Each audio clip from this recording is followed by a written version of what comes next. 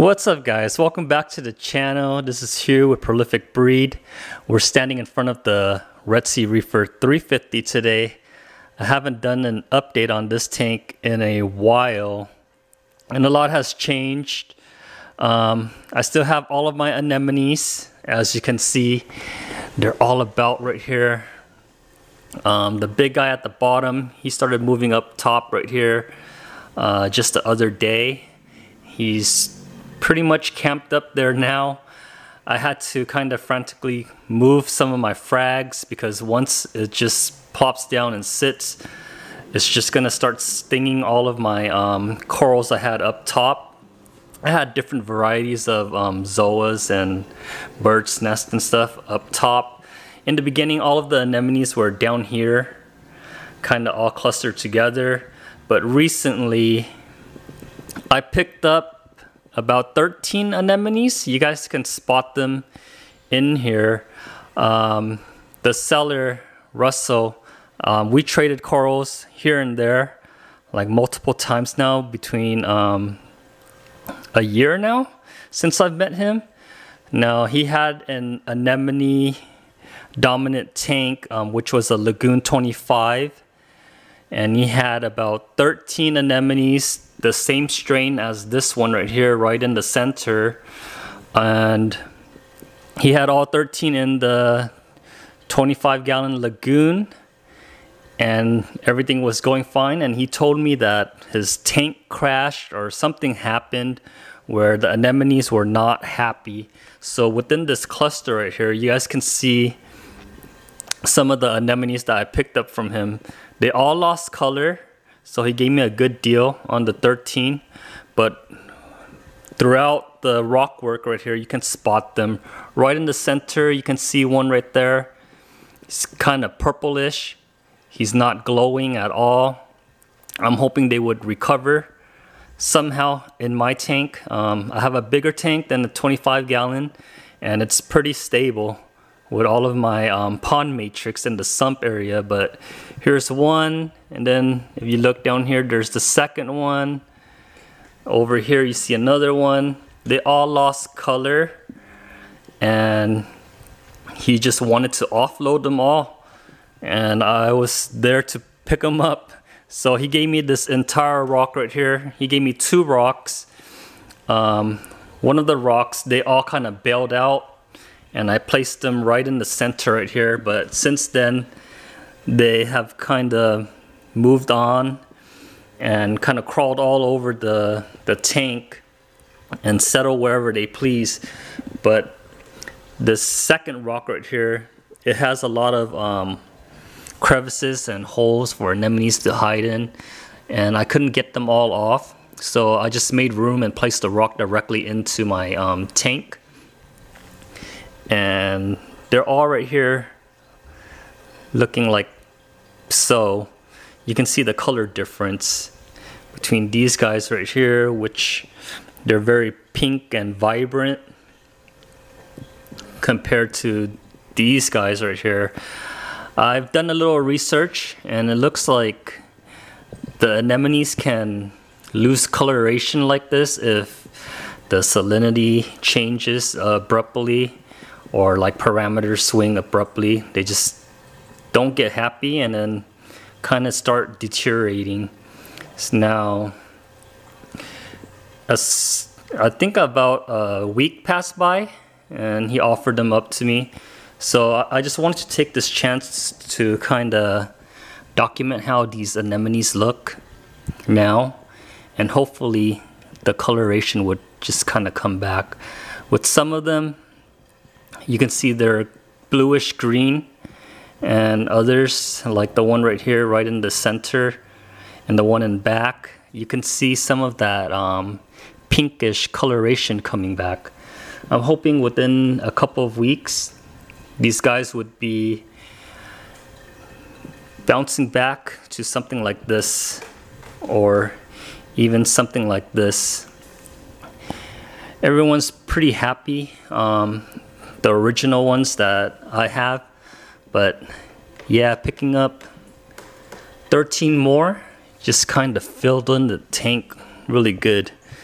So here's a shot stepping back. I don't have any anemones in the cups up there. They're kind of dirty. You need to take them out and kind of service them. But I put one of my um, bird's nest up there um, because the anemones, once they are all started mingling together, everyone's just moving about and it's pretty risky having the bird's nest um, so close to, to the anemones because um, they can kind of sting them to death. But here's the shot right here. This was my goal for the tank to have an anemone dominant tank since the beginning. And we're just one step closer to that. I don't think I'll be purchasing any more anemones in the near future. Um, just gonna put this tank on cruise control and maintain it and grow out these guys. Hopefully, um, it'll get to a point where I can resell if they start multiplying more. I can resell. Um, I have, I think, three different strains in here, and my favorite one is um, this one right here. It's called Rainbow. Uh, tips are like vibrant red and you see like three colors to it. Some of them have like one like one dominant color, but then the base is still kind of green. But they all kind of morph throughout their life stage or months or whatever. But yeah, the tank's looking great right now. So the tank's still humming along.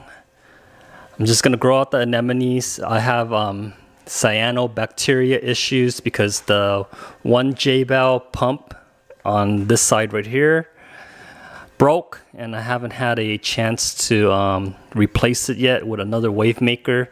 So within the tank, I've been kind of um, using a tur turkey baster to kind of blow everything to get it cleaned up.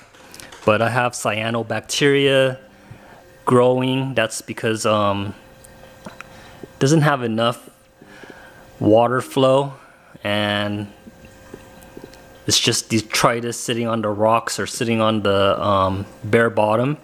And if it's stagnant for a while, you get the um, cyanobacteria coming up and developing. So was looking into a replacement for the Jebao. Um, was considering uh, getting the AI Nero 5, but I've read mixed reviews on it. Let me know in the comments below what you guys think about that um, Wave Maker. It's about 199 right now It's still uh, quite a bit to pay, but there's a lot of complaints on that WaveMaker and how it's breaking down and the magnet not working correctly and all of that. So I've been kind of on the fence between getting another Jebao or um, just taking the plunge and buying the Nero 5 yeah, let me know in the comments below if you have experience with that WaveMaker. Other than that, I have this um, crossflow. Um, both both sides pointed in the same direction now, and it's just blowing across the tank.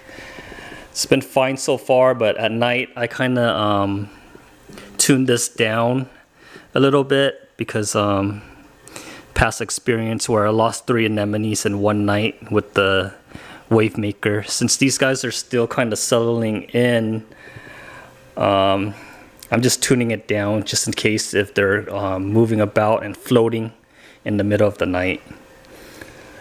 But yeah, guys, I just wanted to kind of document these anemones right here. They lost coloration because of a crash or a fluctuation with um, parameters. Here's one, two, three, four, five, six, um, seven. And I know there's um, some hidden in this cluster right here and then some in the back of this rock. But I just wanted to share with you guys what's going on with the Red Sea Reefer 350. I'm stepping back right now. I think it looks great with all of the anemones. Hopefully um, they'll split and we'll get more. But I wanted to document the the ones that are sick or in shock hopefully we'll get these guys um, back to normal and then I'll be sure to update you guys on all of the pale anemones and the entire tank in general. Until then guys, I hope you guys have a great day. Um, be sure to like, comment, and subscribe and I'll catch you guys on the next one. Bye.